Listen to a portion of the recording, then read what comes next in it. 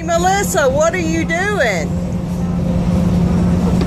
Melissa has put together a bank, a First Fitness Nutrition Bank. She is a director for First Fitness Nutrition, and you are saving money for what convention? For First Fitness Convention in Dallas, Texas. And when will that be? July 14th and 16th. July 14th, 16th. Mark your calendars.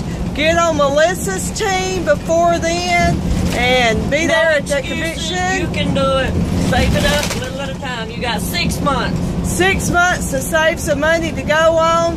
Uh, we've changed these Biomag models into uh, First Fitness Nutrition banks. And you can put your silver, your coins in there.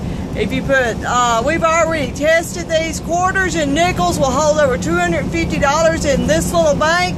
And we're putting it on side to go to the convention. A two day event in Dallas, Texas. Don't miss us. See y'all there.